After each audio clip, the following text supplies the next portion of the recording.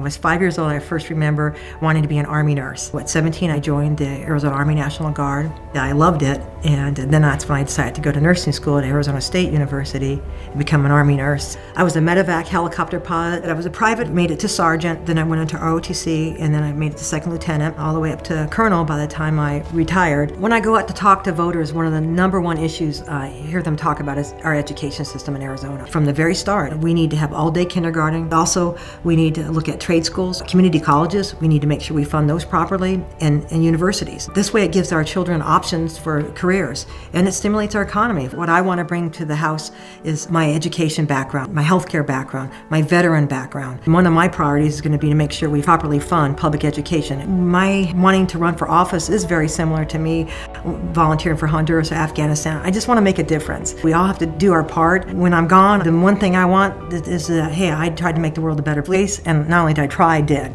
My name is Felicia French, and I'm running for Arizona State House in District 6.